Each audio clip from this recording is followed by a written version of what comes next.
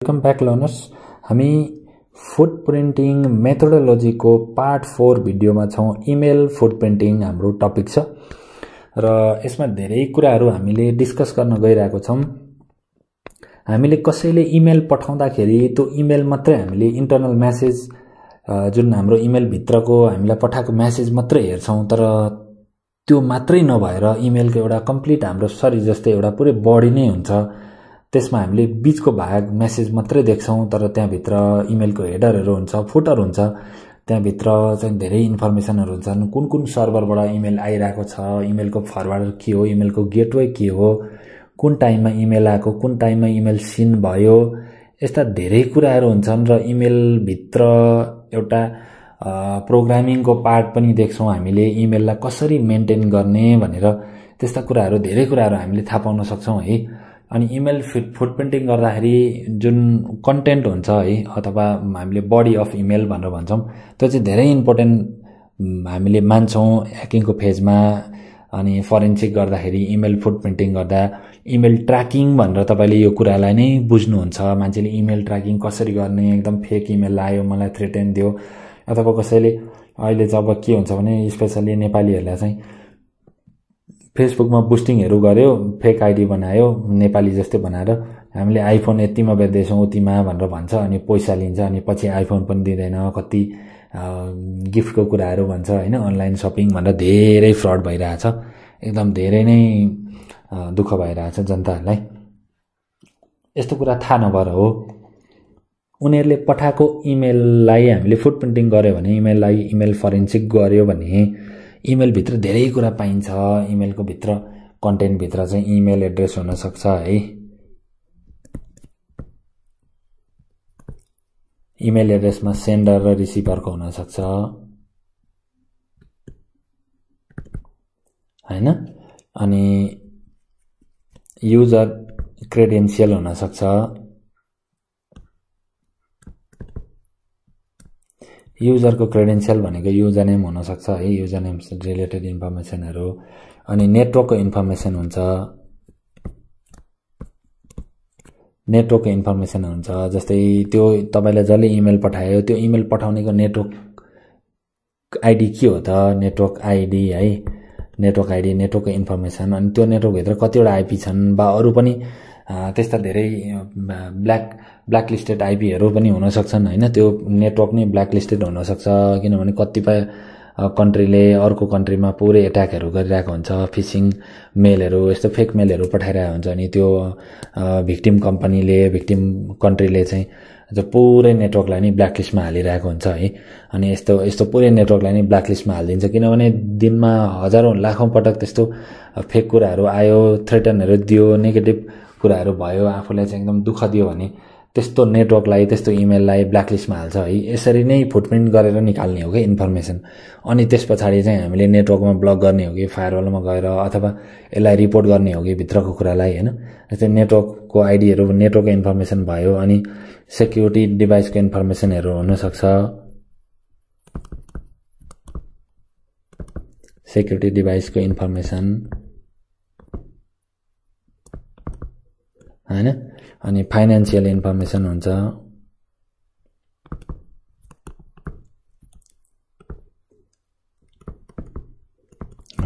यस्तो धेरै कुराहरू हुनसक्छन्।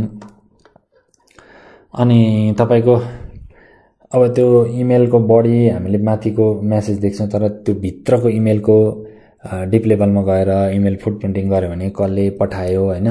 युजरको क्रेडेन्सियलहरू हुनसक्छ। अनि सेन्डरको इमेल रिसिभरको इमेल मैले भनिहालेँ। डेस्टिनेसनको एड्रेसहरू हुन्छ है।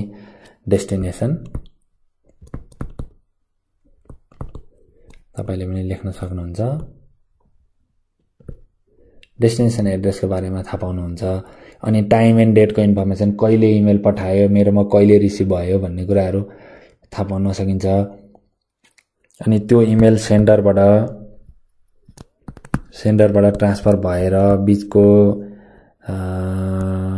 गेटवे हुँदै रिले सर्भर हुँदै रिलेले त रिले गर्छ नि त ट्रान्सफर हुँदै अर्को रिले सर्भर हुँदै हुँदै अन्तिममा मेरो कहाँ आउँछ त? इनबक्समा आयो भन्ने कुरा यसरी पुरै ट्र्याक गर्न सकिन्छ। अनि यहाँबाट यहाँ यहाँबाट यहाँ हरेक अब डिभाइसहरूमा राउटर हुँदै हुँदै अब कहाँदेखि कुन गेटवेले पठायो त? अब यहाँ हामीले सिधै मेल गरेर यस्तो फ्रड मेल आयो यस्तो यस्तो इमेल आइडीबाट भनेर भन्दाखेरि त यो कम्पनीले त यो इमेलको बारेमा त दिन्छ नि त। हाम्रो जस्तै कन्ट्रीको गभर्मेन्टले अथवा पुलिस अथवा साइबर सेक्युरिटी साइबर पुलिसले सेक्युरिटी एजेन्सीले सिधै चाहिँ जस्तै यो मेरो इनबक्स भयो हाम्रो कम्पनीले होइन? सिधै चाहिँ त्यो मेलको गेटवेमा कहाँदेखि कुन सर्भरबाट मेल आयो भनेर सिधै हाम्रो कम्पनीले चाहिँ सोध्यो भने भनिदिन्छ नि त यसरी सोध्यो भने यो कम्पनीलाई सोध्यो भने। भनिदिन्छ ओहो ल मेरोमा चाहिँ यसरी मेरो मेल ह्याक भएर तपाईँकोमा यसरी गएछ है? कसैले कम्प्रोमाइज गरेको रहेछ भनेर भन्न सक्छ। अथवा उनीहरूको कम्पनी ह्याक भएर मिसयुजहरू पनि भएको हुनसक्छ या त कुनै ह्याकरले त्यो थाहै नपाइकन कम्प्रोमाइज गरेर आफ्नो तरिकाले युज गरेको हुनसक्छ कुनै पनि इमेलहरू जस्तै हाम्रो मेलहरूमा राम्रो राम्रो कम्पनीबाट मेल आइरहेको हुन्छ तर त्यो कम्पनी हेर्दाखेरि एकदम जेन्युन हुन्छ तर त्यो कम्पनी भित्रभित्रै ह्याक भएर ह्याकरले मिसयुज गरेको हुनसक्छ अथवा कसैले चाहिँ ह्याकरहरूले आफ्नै सर्भरहरू बनाएर त्यसरी अलग्गै फेक तरिकाको सबै कुराहरू सेटअप गरेर हामीलाई दुःख पनि दिएको हुनसक्छ। त्यस्तो धेरै कुराहरू यस्तो इन्फर्मेसनहरू सबै अप्टेन गरेर हामीले पुलिसहरूलाई केस गर्न सक्छौँ है? फरेन्सिकको लागि रिपोर्ट गर्न सक्छौँ। अनि पोलाइट मेल छ यसको लागि धेरै राम्रो टुल छ है? पोलाइट मेलबाट पनि यो कामहरू गर्न सक्नुहुन्छ तपाईँले।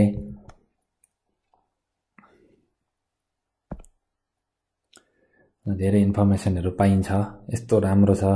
अनि इमेल आइडी इमेल हेडरबाट पनि यसरी ट्र्याकिङ गर्न सकिन्छ। कहाँबाट कुन मेल कुन मेलबाट आयो कुन कुन गेटवे हुँदै कुन कुन राउटर हुँदै मसँग आइपुग्यो मेरो आइपीदेखि लिएर मेल पठाउनेको आइपीसम्म सबै उसको लोकेसनहरू सबै कुरा यसरी चाहिँ ट्रेस गर्न सकिन्छ मेल ट्रेस चाहिँ ट्रेसिङ गर्न सकिन्छ। जस्तै पोलाइट मेल भयो इमेल ट्र्याकर प्रो भयो यस्तो धेरै टुलहरू छ।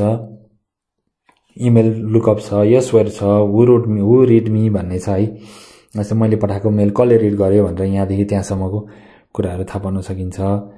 अनि कन्ट्याक्ट मङ मङ्की भन्ने छ रिड नोटिफाई छ होइन? डिड दे रिडिड भन्ने छ अनि get notify point of mail trace email G lock analytics भनेर यस्तो धेरै राम्रो राम्रो टुलहरू पनि छ है।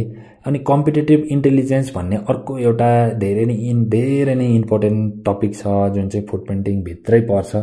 फुड पेन्टिङको धेरै टेक्निक अफिसियल सिलेबसलाई पुरै कभर गर्दाखेरि यस्ता धेरै टेक्निकहरूको बारेमा हामीले पढ्दैछौँ। अब कन् कम्पिटेटिभ इन्टेलिजेन्सभित्र चाहिँ जुन इन्टेलिजेन्स ग्यादरिङ प्रोसेस भनेर भन्छौँ है यो चाहिँ नन इन्टरफेरिङ यो चाहिँ टेक्निक हो है।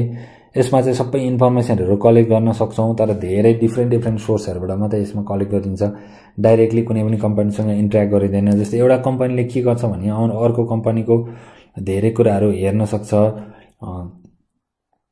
डिटेलहरू हेर्न सक्छ अफिसियल वेबसाइट हेर्छ जब डिस्क्रिप्सनहरू हेर्छ अनि प्रेस रिलिजहरू के के छ उनीहरूको नोटिसहरू हुनसक्छ होइन? एनुअल रिपोर्टहरू हेर्छ त्यहाँबाट धेरै इन्फर्मेसन उसको कम्पनीको स्ट्राटेजी प्रोफाइलदेखि लिएर सबै प्रडक्ट क्याटालग के के छ कस्तो कस्तो प्रडक्टहरू युज गर्छ कुन कुन भर्जनको प्रडक्ट त्यहाँ गइरहेछ कम्पनीमा युज भइरहेछ होइन? थाहा पाउन सकिन्छ नि त कुन मोडलको कस्ता डिभाइसहरू चलाउँदैछन्। यहीँदेखि थाहा पाइन्छ त्यो कम्पनीभित्र जानै पर्दैन धेरै। अनि त्यस पछाडि एक्सप्लोइडहरू एट्याक टुलहरू युज गर्न सक्यो। अनि कति एनालिसिस रिपोर्टहरू हुन्छ बिजनेस एनालिसिस रिपोर्टहरू टेक्निकल कुराहरू पनि आर्टिकलहरू पोस्ट भएका हुन्छन्। रेगुलारिटी रिपोर्टहरूको बारेमा थाहा पाउन सकिन्छ। एजेन्ट डिस्ट्रिब्युटर सप्लायरहरू हो कहाँदेखि कहाँ बेच्छ यसको सामानहरू कताबाट ल्याउँछ अथवा यसले कसलाई दिन्छ सामानहरू होइन सबै बिजनेस टर्महरूको बारेमा थाहा पाउन सकिन्छ।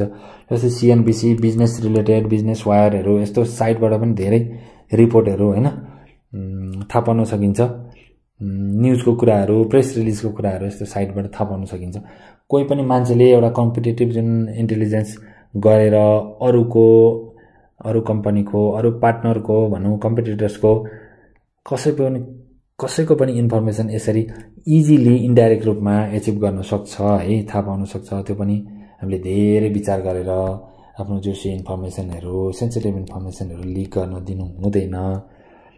सबै चेक गरेर मात्रै आफूले चाहिँ यस्तो कुराहरू कम्पनीमा वेबसाइटमा भयो जब एडभर्टिजमेन्टमा धेरै कुरा विचार गरेर मात्रै सर्भरको मोडेल सोडेल सबै लेखेर है भर्जन लेखेर यस्तो यस्तो स्किल चाहिन्छ यस्तो उस्तो भनेर लेखेको हुन्छ। त्यो सर्भरमा के टेक्निक चलेछ कस्तो मेकानिजममा कन्फिगर भएको छ सबै यस्तो जब डिस्क्रिप्सनबाटै थाहा पाइन्छ है। दुई चार पेज जबको डिस्क्रिप्सन दिएको हुन्छ। यस्तो कुराहरू हुन त अब विद्यार्थीलाई जबको लागि एटेम्प गर्नलाई जब सिखरको लागि हो कति धेरै भन्नुहुन्छ तर त्यसलाई पनि एथिकल ह्याकरको माइन्डले हेर्नुभयो भने त्यहाँ धेरै कुराहरू लिकेजहरू पाउन सकिन्छ क्या। त्यो टेक्निकलाई चाहिँ हामीले के भन्छ त कम्पिटेटिभ इन्टेलिजेन्स भनेर अथवा इन्टेलिजेन्स ग्यादरिङ प्रोसेस भनेर भन्ने गर्छौँ है। अब क्लियर भयो नि तपाईँलाई? फाइनेन्सियल इन्फर्मेसनहरू हुन्छ होइन? एनालिसिस रिपोर्टहरू अनि अब के प्रोजेक्ट आउँछ कस्तो आउँछ प्लानदेखि लिएर हरेक कुराहरू थाहा हुन्छ। अलिकति बिजनेस रिलेटेड लिक जस्तो देखिन्छ यो टपिक हेर्दा चाहिँ। अनि वेबसाइटको ट्राफिकहरू मोनिटर गर्न सकिन्छ होइन? मोनिटिस छ वेब स्टार्ट भन्ने छ एलेक्सा भन्ने छ है? यसले चाहिँ वेब वेबको रियल टाइमको अहिले के चलिरहेछ वेबसाइटमा त्यो स्ट्याटिस्टिक्सहरू थाहा पाउन सकिन्छ होइन? वेबसाइटको ऱ्याङ्किङहरू कस्तो छ त? कस्तो रेपुटेसन छ वेबसाइटको त्यो कुराहरू ऱ्याङ्कहरूको बारेमा थाहा हुन्छ। जोग्राफिकल भ्यूहरू कहाँ छ? त्यो वेबसाइटहरूको लोकेसनदेखि लिएर सबै कुराहरू। थाहा पाउन सकिन्छ। अनि को को क्लाइन्टले कहाँबाट युज गरिरहेको छ वेबसाइटको सर्भिसहरू त्यस्ता कुराहरू पनि थाहा पाउन सकिन्छ है। कुन कुन कन्ट्रीबाट चाहिँ उसको क्लाइन्टहरूले वेबसाइट ब्राउज गरिरहेछ होइन? अब त्यो वेबसाइटलाई कसैले एट्याक गर्न आँट्यो अथवा तपाईँ नै एकछिन लागि आज ह्याकर टेस्ट गर्दै हुनुहुन्छ ethical hacker white hat hacker भने त्यो वेबसाइटलाई एट्याक गर्दाखेरि को को क्लाइन्ट चाहिँ कम्प्रोमाइज हुनसक्छ वर्ल्डभरिबाट कति हजार कति लाख क्लाइन्टहरू कम्प्रोमाइज हुन्छन् भन्ने कुरा पनि यो वेबसाइट ट्राफिक मोनिटरिङबाट थाहा पाउन सकिन्छ कुनै पनि कम्पनीको कुनै पनि टार्गेटको है। अनलाइन रेपुटेसनको बारेमा गुगल एलर्ट भयो है अनि विज टल्किन भन्ने छ अनि ऱ्याङ्कोर आरआर सफ्टवेयर सोसियल मेन्सन भन्ने छ। रेपुटेसन डिफेन्डरबाट चाहिँ अनलाइनको थ्रुबाट तपाईँले ट्र्याक गर्न सक्नुहुन्छ रेपुटेसन ट्र्याक गर्न सक्नुहुन्छ है। कुनै वेबसाइटको जस्तै कहीँबाट तपाईँको कुनै आइपीबाट तपाईँलाई केही ट्राफिकहरू आइरहेको छ भने अथवा कसैको ब्ल्याकलिस्टेड आइपीहरू हुनसक्छ होइन? त्यस्तो कुराहरू अब हामीले चाहिँ त्यसको आइपीहरू वेबसाइटहरू कुनै वेबसाइटबाट तपाईँलाई केही एट्याकहरू थ्रेड्सहरू त्यस्तो कुनै डोमेनको आइपीहरूबाट आएको छ भने तपाईँले चाहिँ रेपुटेसनहरू हेर्न सक्नुहुन्छ चेक गर्न सक्नुहुन्छ अनि त्यस पछाडि bad IP negative IP blacklisted खालको आइपीहरू रेपुटेसन नराम्रो भएको आइपीहरू डोमेनहरू छ भने तपाईँले आफ्नो कम्पनीको नेटवर्कभित्र छिर्नै दिनुहुन्न। त्यस्तो प्याकेटहरू आयो भने त्यस्तो ट्राफिकहरू आयो भने त्यस्तो इम्प्लिमेन्टेसन फायरवालमा लगाउन सक्नुहुन्छ पोलिसीहरू गर्न सक्नुहुन्छ है। अनि तपाईँको यो फुड प्रिन्टिङ एकदमै वाइड टपिक छ। तपाईँलाई धेरै कन्सेप्टहरू भइसक्यो होला अब होइन? मैले अफिसियलको अफिसियल सिलेबसलाई पुरै कभर गर्ने कोसिस गरिरहेको छु। धेरै स्लाइडहरू देखाएर मात्रै पढाउने टाइपको हुन्छ। धेरै नै लेस इन्फर्मेसनहरू पाइरहेको हुन्छ। मैले तपाईँलाई चाहिँ धेरै कन्टेन्ट दिने कोसिस गरेको छु। यदि कसैलाई यो फिल्डमा जाने मन छ भने चाहिँ एउटै टपिकमा धेरैवटा क्लासहरू सेयर गरियो भने र धेरै कन्टेन्टहरू सिकाइयो र एउटा प्र्याक्टिकल अप्रोचमा अगाडि बढाइयो भने तपाईँलाई धेरै नलेज हुन्छ भनेर हो। अब विज इन्फर्मेसन भनेको के हो त भन्दा एउटा वेबसाइटको धेरै अथोरेटिभ इन्फर्मेसनहरू हुन्छ जस्तै वेबसाइट होस्ट गर्दा तपाईँले दिनुभएका धेरै कुराहरू छन् जस्तै तपाईँको नाम भयो इमेल आइडी भयो कम्पनी भयो अनि डेट अफ बर्थहरू हुनसक्ला अनि अरू इमेल एड्रेसहरू भयो टेलिफोन नम्बरहरू भए तपाईँको पोस्टहरू अनि आफ्नो चाहिँ तपाईँको कम्पनीको जुन प्रोफाइलमा हुनुहुन्छ त्यो प्रोफाइल त आफ्नो तपाईँको आफ्नो अहदा केमा काम गर्नुहुन्छ त्यो डिटेलहरू भयो धेरै कुराहरू थाहा पाइन्छ अनि यो विज इन्फर्मेसनबाट अरू चाहिँ तपाईँको वेबसाइट कहाँ होस्ट भएको छ कुन डिएनएसमा तपाईँको वेबसाइटको डोमेन नेम रजिस्टर भएको छ र त्यो तपाईँले होस्ट गरेको लन्च गरेको सर्भरको नेटवर्कको बारेमा अरू धेरै डोमेन इन्फर्मेसनहरू अनि त्यो होस्ट गर्ने कम्पनीको पनि वेब मास्टरको इमेल फोन नम्बरदेखि लिएर धेरै कुराहरू थाहा पाउन सकिन्छ है। ल्यान्ड्रिक्स भन्ने छ नेटवर्क मस्ट भन्ने छ अनि टेलसफ्ट होइन। जोनरु छ अनि सेलर स्यालरी प्रो भन्ने छ अनि निर सफ्ट निकै फेमस यो छ। साइटहरू अनि सोबल सफ्ट भन्ने छ होइन। सफ्ट फ्युज भन्ने छ धेरै कुराहरू छन् अनि मोबाइलमा पनि छ। तपाईँले यसरी डोमेन विज लुकअप गर्न पनि सक्नुहुन्छ डोमेनको डिटेल इन्फर्मेसनहरू है। अनि डिएनएस टुल भन्ने छ अनि विज भन्ने छ अल्ट्रा टुल मोबाइलको भर्जन वान पोइन्ट वान भन्ने पनि पाइन्छ त्यसलाई पनि एपहरू इन्स्टल गरेर गर्न सक्नुहुन्छ। अनि विजले चाहिँ के गर्छ भन्दा डोमेनको नामहरू ग्यादरिङ गर्न सकिन्छ विज लुकअपबाट यो वेब मास्टरहरूले पनि गर्छन् तर ह्याकरको लागि धेरै इम्पोर्टेन्ट हुन्छ यो कुराहरू। अनि अनरसिप इन्फर्मेसन कम्पनी इन्फर्मेसन कतिले फिसिङ मेलहरू गर्न सक्छ टेलिफोनमा कल गरेर म यसरी वेब मास्टर बोलेको वेब होस्टिङ गर्ने साइटबाट तपाईँको इन्फर्मेसन यो यो हो यति यति डेटमा यस्तो कुराहरू छ तपाईँको डिटेलहरू डोमेनको नेम होइन तपाईँको सबै डिटेलहरू आइपी एड्रेस फोन नम्बरदेखि लिएर सब कुराहरू यस्तो हो। मलाई तपाईँको वेबसाइटको पासवर्ड चेन्ज गर्नुपर्ने छ अथवा यस्तो यस्तो चेन्ज गर्नुपर्ने छ टेक्निकल चेन्जेसहरू भनेर तपाईँले तपाईँसँग आफ्नो इन्फर्मेसनहरू पासवर्ड युजर नेमदेखि लिएर धेरै कुराहरू लिन पनि सक्छ। त्यस्तो किनभने यहाँ अपडेट भएको इन्फर्मेसनहरू डाटाबाट मान्छेले धेरै कुराहरू कम्प्रोमाइज गर्न सक्छ। त्यही भएर फोन नम्बर इमेल आइडी भनेको पनि धेरै ठुलो इन्फर्मेसन मानिन्छ ह्याकिङमा धेरै ठुलो ब्याकग्राउन्ड इन्फर्मेसन हो। डोमेनको नेम अनरसिप कसको वेबसाइट हो त्यो कुरा थाहा पाउन सकिन्छ।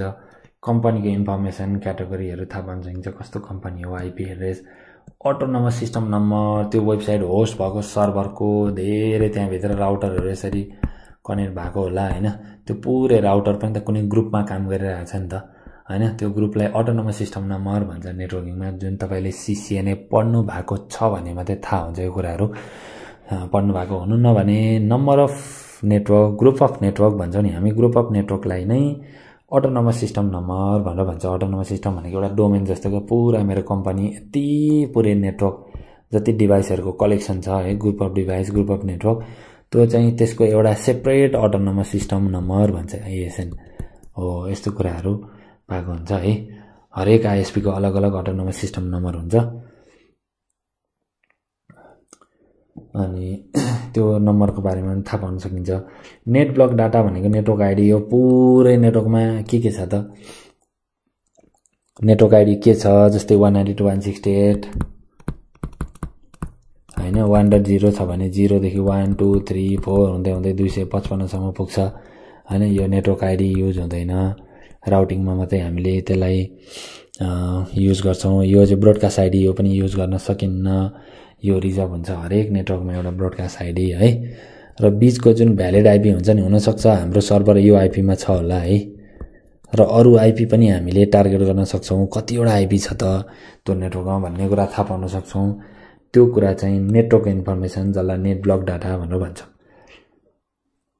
यो पुरै नेटवर्क आइडी हो नि। यति नेटवर्क आइडी थाहा पायो भने यहाँभित्र यतिवटा भ्यालिड आइपी छ यतिवटा सिस्टम चलेको हुनसक्छ भनेर हामीले त्यसलाई पनि स्क्यान गरेर त्यसलाई पनि टार्गेट बनाउन सक्छौँ होइन? अथवा हाम्रो कम्पनीको के के कुराहरू लिकेज भइरहेको छ भन्ने कुरा हामीले मोनिटर गर्न सक्छौँ सक्दैनौँ? हो। अनि डोमेन नेम डोमेन नेम डिएनएसको कुराहरू होइन कतिवटा डोमेनहरू होस्ट भएको छ सब डोमेनहरू सबै कुरा थाहा पाउन सकिन्छ। अनि वर्ल्डमा इन्टरनेटको अनि पोर्ट नम्बरको डोमेनको सबै डाटाबेसहरू होल्ड गर्ने भनेको रिजनल इन्टरनेट रजिस्ट्री हो है। वर्ल्डमा पाँचवटा आरआइआर छ। हामी एसिया पेसिफिकमा पढ्छौँ विकिपिडियामा गएर इन्ट इन्टरनेट रजिस्ट्री भनेर टाइप गर्नुभयो भने पाँचवटा देखाउँछ। यिनीहरूले चाहिँ आफ्नो जस्तै एसिया महादेशमा भएको सबै डोमेनको इन्फर्मेसनहरू होल्ड गरेको हुन्छ। हामी को कहाँभित्र छौँ भन्ने कुरा पनि त्यो विज लुकअप गर्दाखेरि थाहा पाइन्छ है। विज विज डट कम भनेर अथवा धेरै साइटहरू मैले देखाएँ। त्यहाँ गएर समथिङ एक्सवाइजेड डट कम भनेर तपाईँले टाइप गर्नुभयो भने यो सबै इन्फर्मेसन थाहा पाइन्छ के को बारेमा यो डोमेनको बारेमा। डोमेनको स्टेटस कहिले एक्सपायर हुन्छ के हुन्छ भन्ने कुरा पनि थाहा पाइन्छ। कति समय गुगलहरू पनि अर्कैको नाममा रजिस्टर गऱ्यो अरे त्यो रिन्यू गर्न नपाएर अथवा ठ्याक्क त्यो टाइममा एक सेकेन्डमा रिन्यू गऱ्यो अर्को नाममा गयो भन्ने कुराहरू सुन्नुहुन्छ नि तपाईँहरूले एकदम कमेडी पनि लाग्छ होइन? त्यस्तो कुरा थाहा पाइन्छ। अनि पहिले कहिले होस्ट भएको थियो होइन? होस्टिङको हिस्ट्रीहरू कति वर्षदेखि वेबसाइट चलिरहेछ भन्ने कुरा पनि यहाँबाट होस्टिङको हिस्ट्रीको बारेमा तपाईँहरूले थाहा पाउन सक्नुहुन्छ। अब अहिलेसम्म धेरै कुरा पढ्यौँ हामी डिएनएस फुटप्रिन्टको बारेमा पनि अब नेक्स्ट भिडियोमा पढ्छौँ।